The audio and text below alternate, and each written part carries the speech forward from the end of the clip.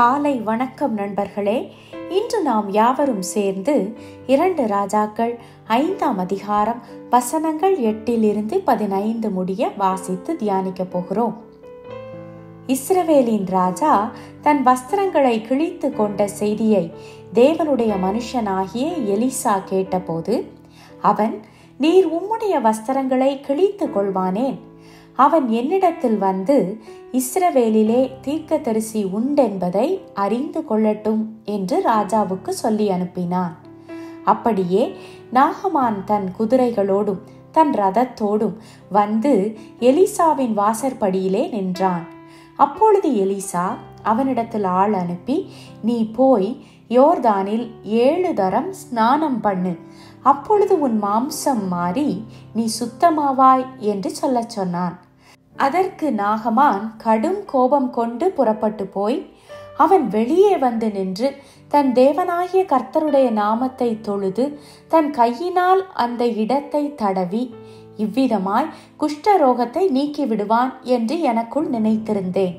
நான் ஸ்நானம் பண்ணி சுத்தமாகிறதற்கு இஸ்ரவேலின் தண்ணீர்கள் எல்லாவற்றை பார்க்கிலும் தமஸ்குவின் நதிகளாகிய ஆப்னாவும் பர்பாரும் நல்லதல்லவோ? என்று சொல்லி உக்கரத்தோடே திரும்பி போனான். அவன் ஊழியக்காரர் சமீபத்தில் வந்து அவனை நோக்கி தகப்பனே அந்த தீர்க்கதரிசி ஒரு பெரிய காரியத்தை செய்ய உமக்கு சொல்லியிருந்தால் அதை நீர் செய்வீர் அல்லவா ஸ்நானம் பண்ணும். அப்பொழுது சுத்தமாவீர்? என்று அவர் உம்மோடே சொல்லும்போது அதை செய்ய வேண்டியது எத்தனை அதிகம்? என்று சொன்னார்கள்.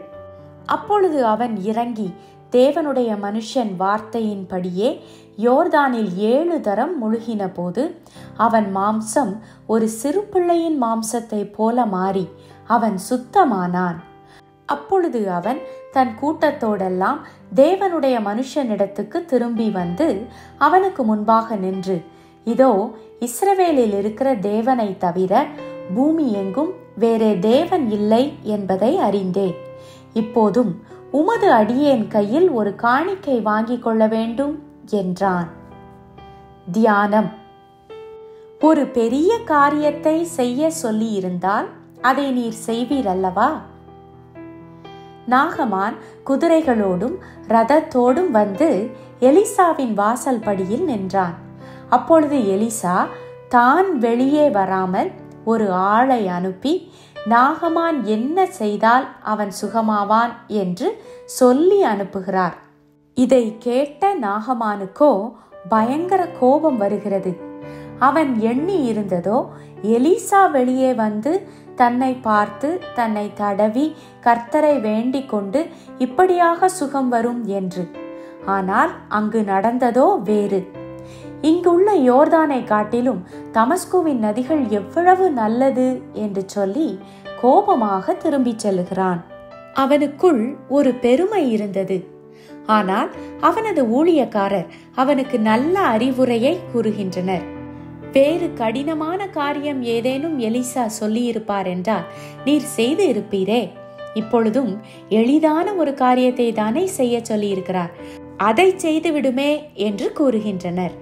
அப்பொழுது அவன் எலிசா சொன்னபடியே யோர்தானில் ஏழு தரம் மூழ்கி எழும்பினான்.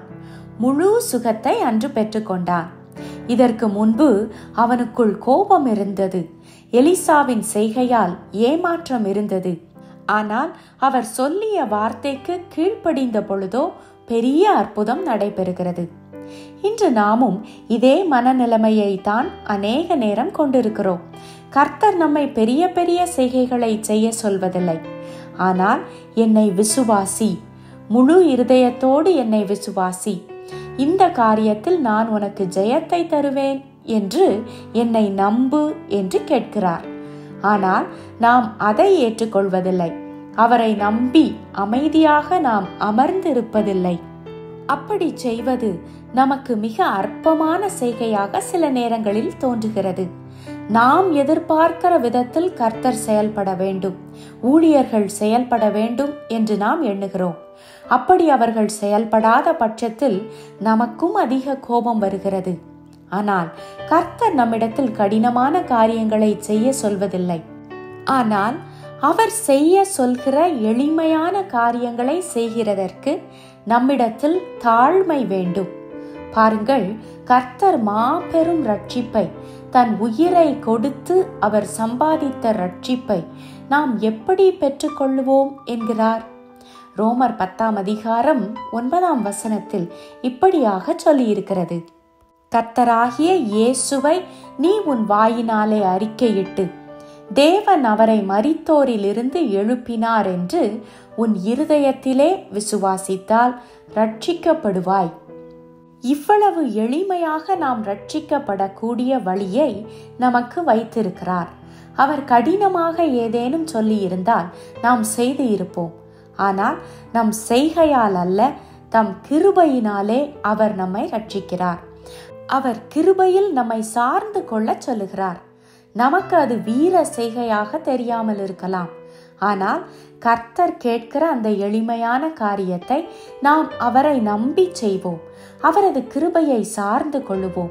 அவரை நம் இருதயத்தில் விசுவாசிப்போம். அந்த ஒரு காரியம் போதும். நம் வாழ்வில் பெரும் மாற்றங்களை கொண்டு வரும்.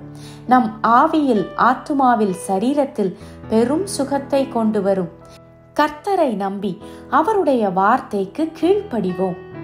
நம்முடைய சிறிய கீழ்ப்படிதல் தாழ்மையான கீழ்ப்படிதல் பெரிய மாற்றங்களை நம் வாழ்வில் கொண்டு வரும். ஜெபம். என் அன்பு தகப்பனே நாகமானை போல இது ஒரு சிறிய காரியம் என்று சொல்லி நீர் எங்களுக்கு சொல்லுகிற எந்த ஒரு காரியத்தையும் நாங்கள் கீழ்ப்படியாமல் விட்டுவிடாதபடி எங்கள் இருதயத்தை நீர் தாழ்மைப்படுத்தும். உம் வார்த்தைகளுக்கு எப்பொழுதும் பணிவோடும் கீழ்ப்படிந்து அதன் பலனை பெற்றுக்கொள்ள எங்களை பயிற்றுவியும் அப்பா இயேசு கிறிஸ்துவின் மூலம் ஜெபம் கேளும் எங்கள் ஜீவனுள்ள நல்ல பிதாவே. ஆமேன்.